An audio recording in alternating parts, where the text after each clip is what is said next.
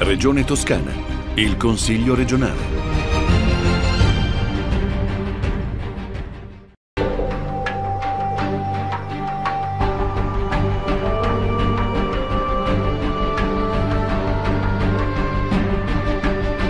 L'ultima seduta del Consiglio regionale ha visto all'ordine del giorno una discussione su Firenze Fiera. Il Consiglio delibera una risoluzione proposta dal Partito Democratico nel quale si prevede entro la fine dell'anno 2023 un aumento di capitale della società per 28 milioni di euro, con la ridefinizione del sistema di governance dell'ente e la sottoscrizione del nuovo patto parasociale. La regione detiene il 31,95% delle quote di Firenze Fiera e ha approvato questo piano di rilancio presentato in aula dalla giunta regionale. Una situazione delicata dal quale Firenze Fiera deve uscire, la Regione deve fare la sua parte, così come gli altri soci pubblici, ma anche con la ricerca di un partner privato che avverrà attraverso un bando eh, eh, di manifestazione di interesse. In altre situazioni eh, questa presenza ha anche funzionato, ma eh, dobbiamo cogliere questa occasione, così come abbiamo sollecitato anche in precedenza, per dotare la Toscana di un polo fieristico unico o comunque coordinato. Noi abbiamo tre strutture fieristiche che è Firenze eh, Fiera, sicuramente eh, la più attrattiva dal punto di vista logistico perché Firenze è ovviamente una città eh, che è riconosciuta nel mondo ma abbiamo anche il, la struttura di Carrara e la struttura di Arezzo. Ecco, in questo percorso che riguarda Firenze Fiera l'invito che abbiamo rivolto all'assessore e alle giunte è quello anche di creare le condizioni e spingere perché in Toscana ci sia una proposta fieristica coordinata. Sì, ovviamente il sistema fieristico toscano ha bisogno di essere armonizzato, organizzato e programmato. Il nostro è un voto di fiducia sulla possibilità di portare intanto un partner privato nella governance, di alleggerire ovviamente la dimensione e l'impegno pubblico ma per cercare di rilanciare e migliorare l'integrazione fra realtà come Firenze, Arezzo, Carrara e non solo ci sono di mezzo anche le opportunità per le città termali, serve integrare l'offerta fieristica e serve soprattutto fare un unico calendario a livello nazionale e provare a parlare una lingua sola per fare della Toscana diciamo, un luogo dove le fiere vengono programmate, organizzate e distribuite su tutto il territorio regionale. Molto critiche le opposizioni che non vedono nel piano un rilancio ben definito e costruttivo per il futuro dell'ente. Di fronte a una società di cui la regione è socio e proprietario quindi di una parte ha un bilancio disastroso. Oggi arriva una, una comunicazione dell'assessore Marras perché richiesto dalle opposizioni nuovamente, altrimenti nessuno si sognava di venire in aula a raccontarci quale futuro per Firenze Fiera, in cui si presenta un piano dicendo che la Regione Toscana è pronta a spendere 18 milioni di soldi pubblici, quindi i cittadini della Toscana vedranno spendere 18 milioni dei loro soldi per risanare una società basandosi su uno studio, un piano di risanamento fatto da un advisor che a pagina 1 del piano che presenta e che redige e scrive, attenzione, non ci prendiamo la responsabilità dei numeri e delle procedure che ci sono scritte in questo piano perché ce l'hanno fornite Firenze Fiera e noi non abbiamo assolutamente contezza di quello che c'è scritto. Un piano, un piano di risanamento in cui si definisce il piano industriale di Firenze Fiera scarso, e su queste basi, quindi su un piano industriale scarso, su una tempistica approssimata, su un piano di risanamento fatto da un advisor defini, la, la, dal quale l'advisor prende le distanze, noi andiamo a investire 18 milioni di euro. Sicuramente la situazione di Firenze Fiera è una situazione delicata ma che è anche diciamo, sintomatica rispetto a una gestione delle società partecipate che già la Corte dei Conti ha censurato sotto molti aspetti da parte di Regione Toscana. Si tratta molte volte di società che presentano bilanci in ritardo, di società nelle quali la Regione non svolge quell'attività diciamo, centrale anche di governance che sarebbe richiesto benché in Firenze Fiera abbia ad oggi esclusivamente un'attività di partecipazione. Si tratta di una situazione in cui la Corte dei Conti addirittura parla di salvataggio ad ogni costo ed è proprio il caso tipico di quello che sta succedendo su Firenze Fiera, una società che ha delle criticità a livello di indebitamento importanti, una società che Regione Toscana ha deciso comunque di eh, finanziare. Su questo aspetto eh, diciamo che eh, se da un lato si è cercato di ricomporre quella che era stata la frattura tra i soci pubblici, evidente rispetto alla volontà di dare continuità all'attività delle fiere, è chiaro che oggi si pone però il problema di cosa si voglia fare, soprattutto sulla struttura della fortezza. Ci sono in ballo lavoratori, c'è in ballo il futuro di un settore economico che dovrebbe essere comunque un valore trainante per l'economia toscana, quindi sicuramente una scelta non facile. Però la questione centrale è una, oggi che tipo di approccio Regione Toscana vuole dare alle società partecipate? In ultimo ricordo che anche qui la Corte dei Conti censura il fatto che questa regione concentri le sue partecipazioni in tre società fieristiche, Firenze, ma anche Arezzo e Massa Carrara, situazioni anch'esse che presentano difficoltà di bilancio. In particolare ancora per quanto riguarda le società partecipate, dove eh, la Corte ha correttamente richiamato il fatto che eh, la partecipazione da parte dell'ente regione dire, sta all'interno di un provvedimento ormai legislativo il testo unico che dà dei vincoli ben precisi,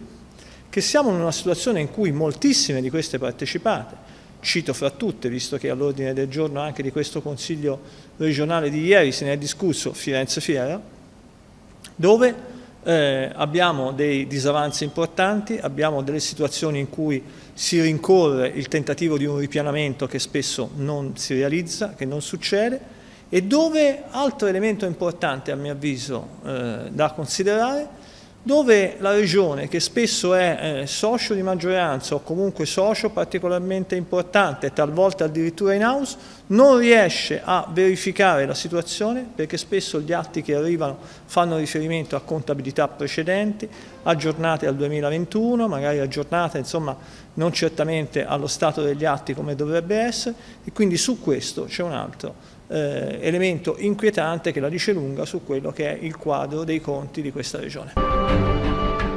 Il Consiglio regionale ha approvato con il solo voto contrario del Movimento 5 Stelle la proposta di risoluzione in merito alle prospettive dei comprensori sciistici della Toscana in relazione alle conseguenze dei cambiamenti climatici in atto. Il documento proposto su iniziativa della Commissione Aree Interne ha lo scopo di sollecitare una tempestiva erogazione delle risorse e però invita allo stesso tempo la Giunta regionale a individuare insieme al Governo nazionale piani straordinari di intervento finalizzati a prevedere meccanismi di aiuto e sostegno statale da destinare al sistema produttivo delle stazioni sciistiche della Toscana. La Commissione Aree Interne propone anche che ci siano degli interventi straordinari e degli aiuti anche nelle prossime manovre finanziarie di Regione Toscana per poter stabilizzare le aree di montagna. Quinto inverno più caldo dal 1800, il secondo più caldo dal 1955. Questo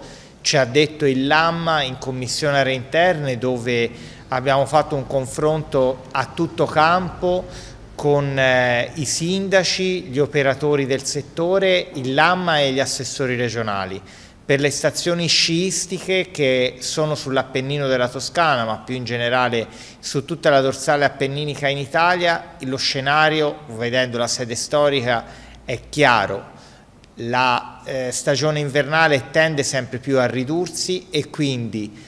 ovviamente si pone un tema di prospettiva di medio-lungo termine il, se, lo, il turismo invernale è straordinariamente importante in termini di reddito, ma se questo è lo scenario dal punto di vista climatico non possiamo permetterci di creare situazioni di grave difficoltà in prospettiva per questi territori. Occorre accompagnare azioni di adattamento di questi territori a un mutato scenario dal punto di vista climatico, diversificando l'offerta turistica, potenziando la parte estiva, la parte sportiva e tutta una serie di altre linee che devono nascere da un confronto con i territori. Noi non possiamo andare giorno, giorno per giorno dietro all'emergenza, di fronte a uno scenario che ormai è chiaro. Dobbiamo accompagnare questi territori con scelte di medio e lungo termine che hanno bisogno di investimenti e per quello che noi chiediamo al governo nazionale di mettere in campo un'azione specifica per l'adattamento al cambiamento climatico delle stazioni sciistiche appenniniche. Allo stesso tempo ovviamente abbiamo chiesto alla giunta regionale di mettere in campo una progettualità per i prossimi anni altrimenti la stagione 2023 soprattutto le difficoltà e i danni che ci sono stati rischia di essere una delle tante.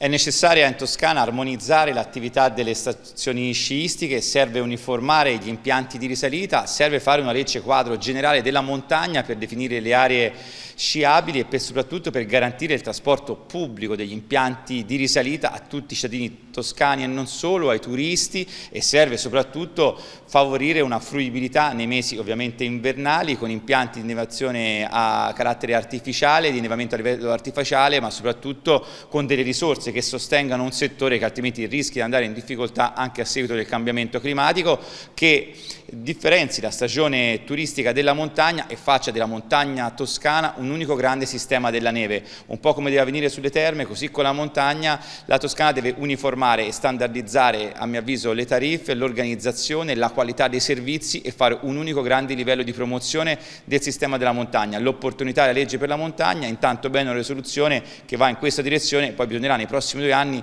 definire in maniera puntuale tutti questi aspetti. Quindi con questa proposta di risoluzione si chiede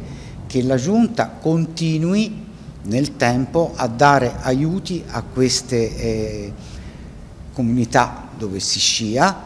e inoltre anche si chiede al governo che porti avanti un decreto sugli Appennini, sembra che ci siano tanti soldi in ballo, non si sa bene come verranno destinati sia a tutti gli Appennini o solo alle località sciistiche.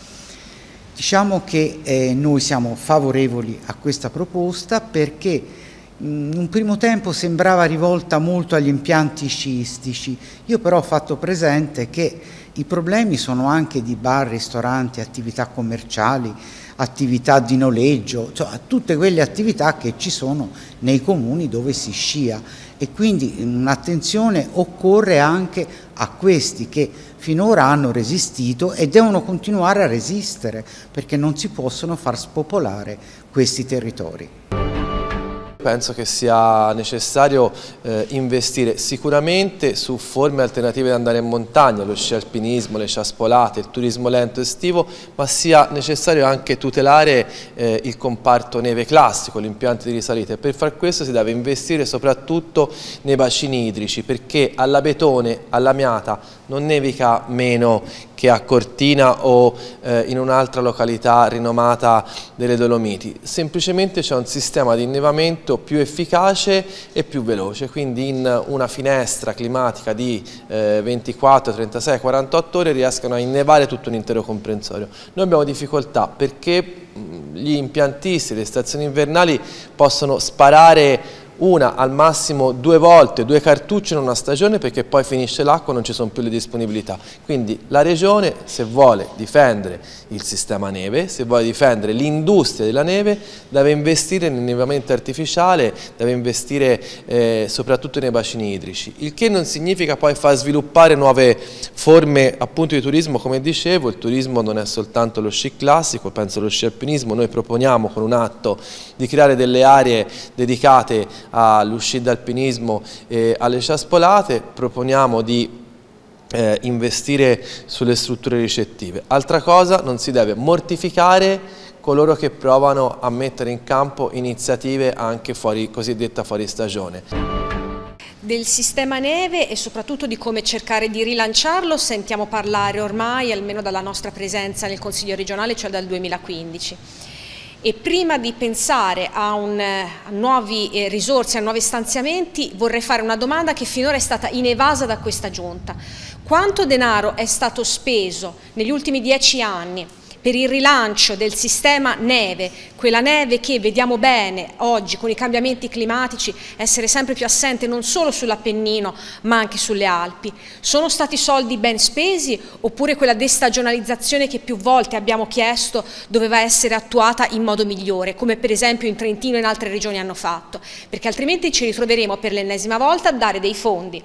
a soggetti pubblici, privati, per eh, rifar ripartire un tipo di turismo che è palesemente in questo momento non corrispondente a quella che è la situazione climatica attuale e questo comporta dispendio di denaro pubblico che è il problema principale. Quindi la domanda da farci è, sono stati soldi ben spesi? Si possono, porre, si possono spendere meglio? Questa è la domanda che nessuno si fa. Regione Toscana, il Consiglio regionale.